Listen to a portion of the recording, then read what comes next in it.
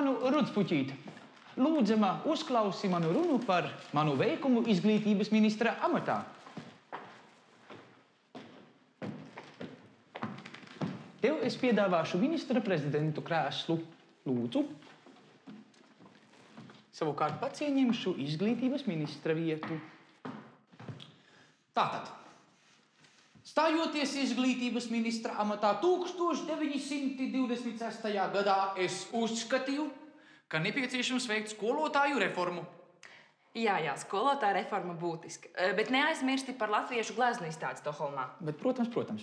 Savukārt, operā, manuprāt, bija nepieciešama stingrāka saimniecības uzskaite, kā arī es iestājos stingri pret sēnalu literatūras izplatību Latvijas jaunatnes vidē. Un neaizmirsti, ka uz Latvijas desmitgadi nolēma izdot Latvijas enciklopēdiju un no kultūras fonda sagādāja 25,000 latu. Taisnība gan sakot, šo uzdevumu tā arī es nepaspēju izpildīt. Bet noslēgšu es lūk ar ko. Mazas tautas pastāvēs vienīgi tad, ja tās kultūras ziņā dosies soli solī kopā ar pašām pirmākajām. Tikai tādējādi mēs būsim mūžīgi arī turpmāk. Izcila runa. Paliks manā un ļaužu atmiņā.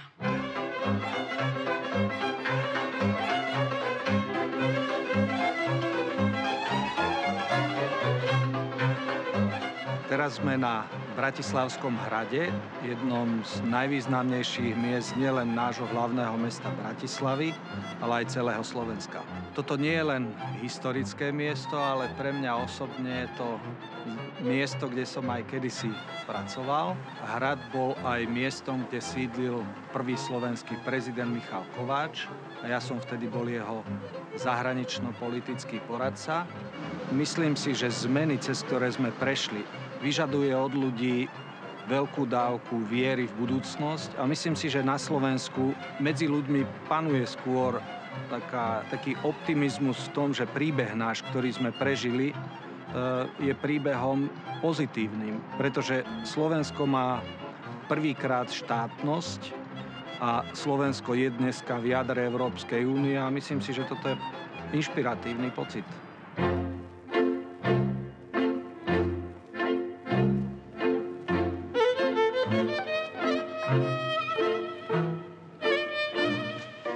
Príde vek, keď človek prestane pohrdať sám sebou a ostatnými.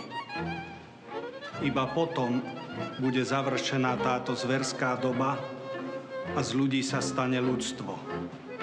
Napokon rozdelíme históriu vo dvoje a začne nová éra.